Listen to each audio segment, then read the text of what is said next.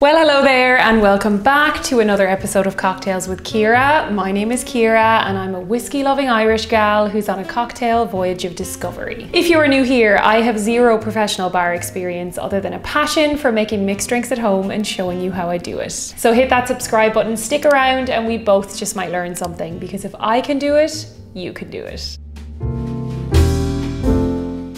So in today's video, I am very excited to be making three whiskey-based cocktails. That is right, you heard me correctly. I'm going to be making a trio of gorgeous whiskey-based cocktails that are going to be perfect for spring summer.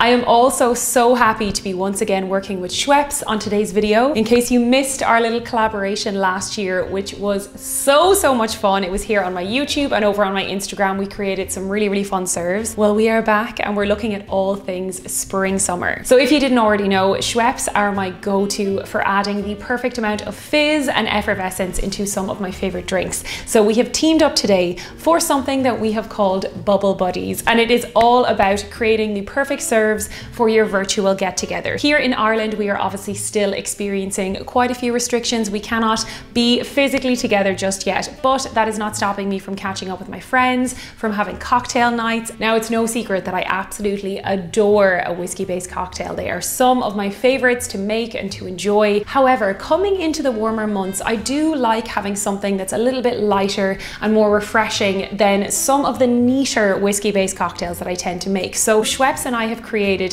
three absolutely beautiful whiskey based, bubbly, delicious drinks that are going to be absolutely perfect for you to enjoy at home or for you to have if you're having a virtual get together. Let's get started with serve number one. This one is called a summer breeze.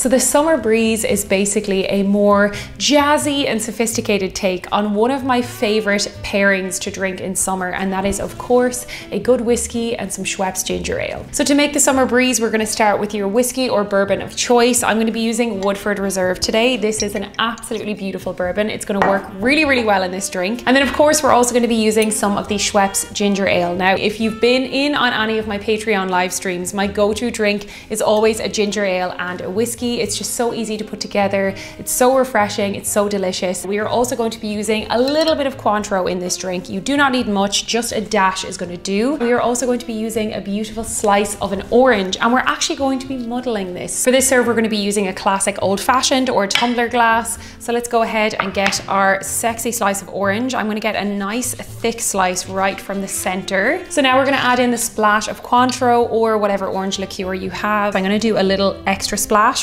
that's plenty. So now we're gonna go ahead and grab our muddler. You can also use the flat back of a bar spoon, but for something like this, a good muddler will really, really help. This is going to release all of the beautiful orange juices. Oh my God, the smell is so good. The handy thing about this is it's also gonna act as our garnish as well. It's gonna add a really, really nice bit of color to the drink. So now we're gonna add in our bourbon. We're gonna do 60 mils of this. Go ahead and add in our ginger ale. We are going to do equal parts of each. So 60 mils bourbon, 60 mils our Schweppes ginger ale.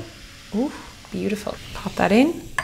Okay, so I have one of my gorgeous gigantic ice cubes right here, but what I'm gonna do before I pop that in is I'm gonna lift up the orange slice that we just muddled, pop the ice in alongside it, because it's just gonna showcase the garnish that little bit better. Give it a gentle stir, add in a teeny bit more, give it a little bit more bubbles. So this is our completed summer breeze cocktail. It looks absolutely beautiful. Cheers.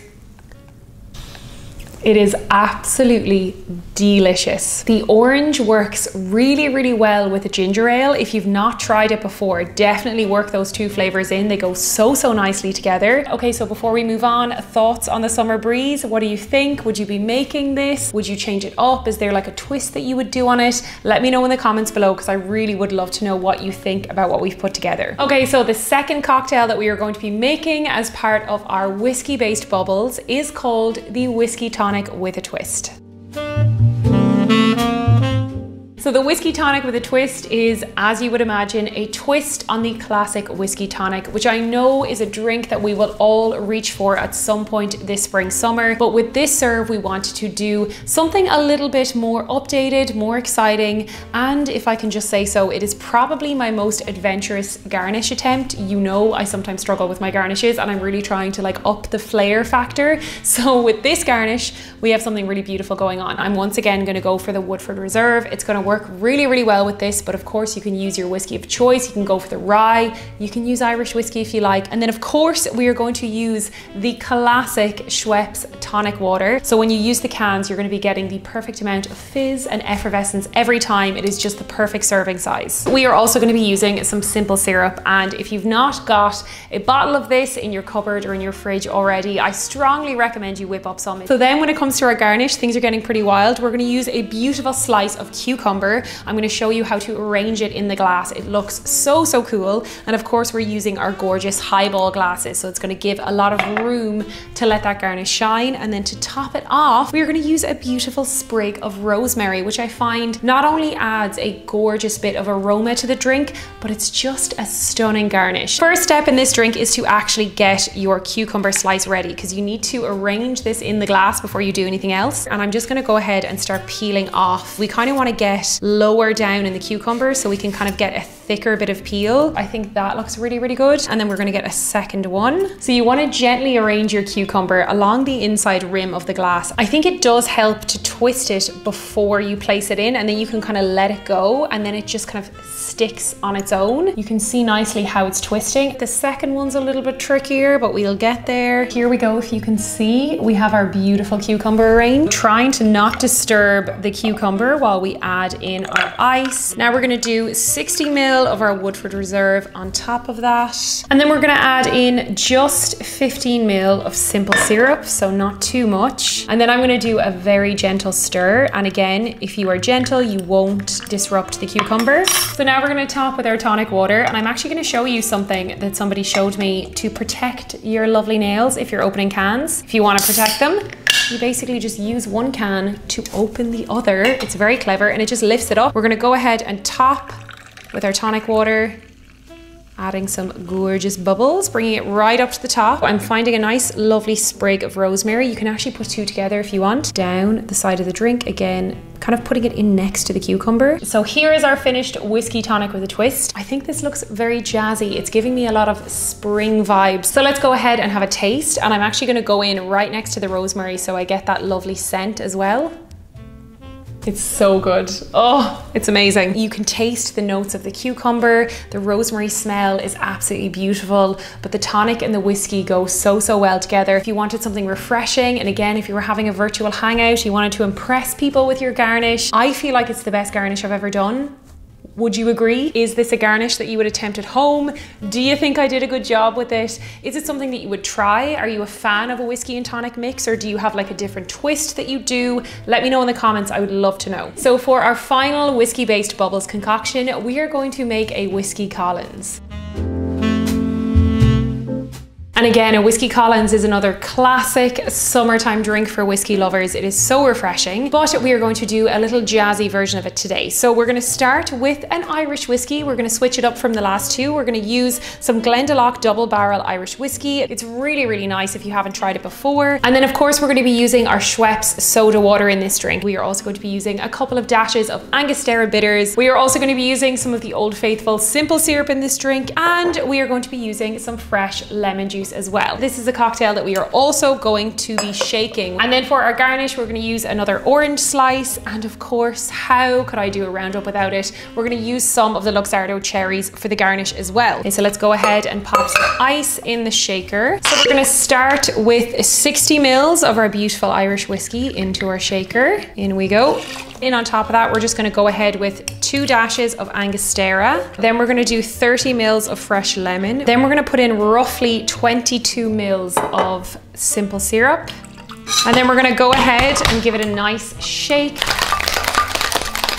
Okay, so shaking that up enough. We're gonna fill our Collins glass with ice and then we're just gonna go ahead and strain this in. Very good. And then we are going to top with our soda water. It's the best sound, honestly. Add a nice bit of fizz. Beautiful. So for the garnish, I'm gonna do a nice orange slice. So we're gonna grab our Luxardo cherries. So I'm just gonna do one because I know with the orange slice, we have a lot going on. So I'm just gonna rest it here on top with the cherry sticking out. And I think that looks quite nice. This is our finished Whiskey Collins. The color is absolutely beautiful. It's got a nice little gradient going on here. Looks very summery, like an actual sunset, but let's see how it tastes. Cheers. It's beautiful. There's obviously a nice hit of citrus with the lemon. If you're at home, you're hanging out with your friends, doing a virtual hangout, and you want to transport yourself to, you know, a summer location, then I think this would be great. It tastes divine. Thoughts on the Schweppes Whiskey Collins? What do you think? Is it something that you would make at home? Do you like my garnish? Are you a fan of a whiskey Collins? I feel like it is a very, very popular drink. So if you have your own specific way of making it, let me know in the comments. I love hearing what your take on all of these serves are. So there you have it. We have three gorgeous whiskey based serves, all featuring some of my favorite Schweppes products. They really are such a go-to for me. So if you're looking for some inspiration this spring for some gorgeous bubbly drinks that you can make, these are tried and tested. I absolutely love them. And as I said, I would love to know what you think of these three serves that we've put together together? Are they ones that you will make at home? Would you do a little bit of a twist on them? Please do let me know in the comments. If you liked this video, feel free to give it a thumbs up. And if you would like to see more easy cocktails that you can make at home, I will link a playlist up here. And if you have not already, then be sure to subscribe to my channel. I post new videos every single week and I would love to have you back for more. Thank you so much for watching and I will see you on my next one. Cheers.